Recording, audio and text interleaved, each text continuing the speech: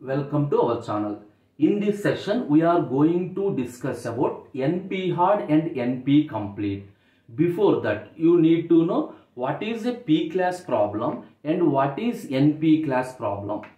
P class means the set of decision problems that can be solvable by a deterministic Turing machine in polynomial time are called P class problems. Now, a set of decision problems that can be solvable by a non-deterministic Turing machine in polynomial time are called NP class problems. Generally, it is very hard to find out the solution to the NP class problem. Why? The solutions are find out by using non-deterministic Turing machine. Suppose once we find out the solution, it is very easy to verify the solution. Why? The solutions are verified by using deterministic Turing machine. Okay. Now you know what is P class problem, what is NP class problem. Now these NP class problem have two categories.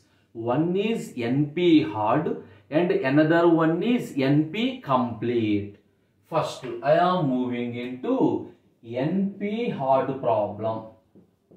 Now, I will give you one problem A. Assume A is a problem. Generally, how do we find out the solution? One scenario is, if a problem is given, the problem is reducible to some another problem. The problem is reducible to another problem and we are find out the solution to this problem.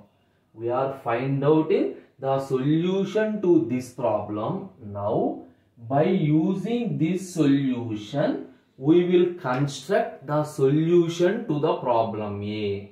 This is one type of scenario for find out the solution to A. Now, why this logic is for NP hard? See this one.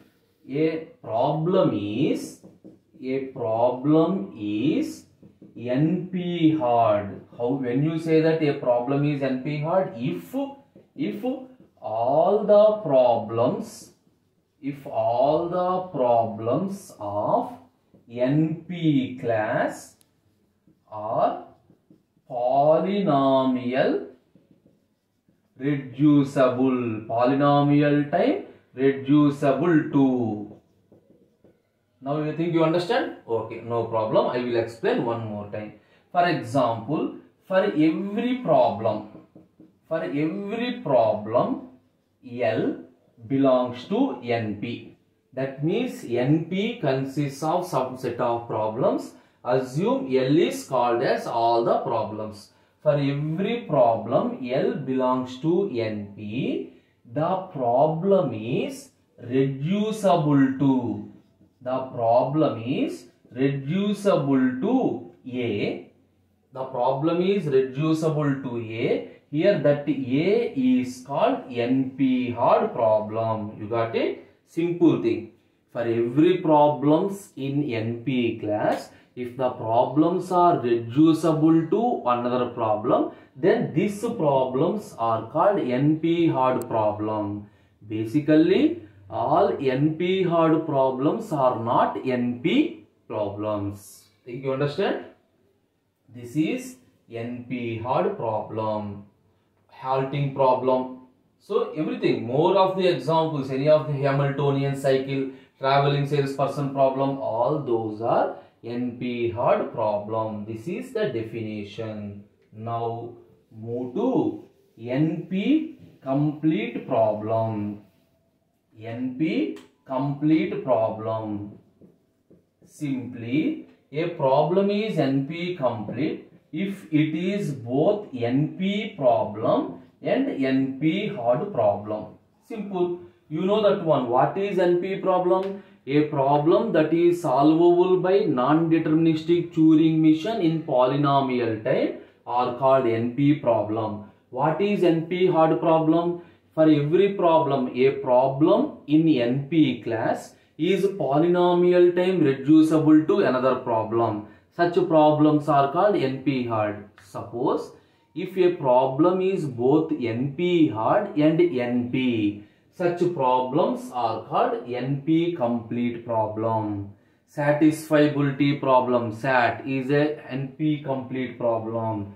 Generally, draw the Venn diagram, you will understand. Suppose this is P class problem. Assume this is NP class problem. And this one is NP hard problem. And what is this common? NP complete problem. Now understand this one. So P is a subset. This entire Venn diagram circle is NP class problem. Within that NP, some problems are P class problems. So generally P subset are equal to NP. Now all NP hard problems are not NP. Yes or no? Only this particular part are NP. NP hard some other problems are there.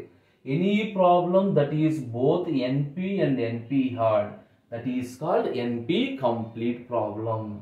These are four types of problems P class, NP class, NP hard and NP complete. Okay.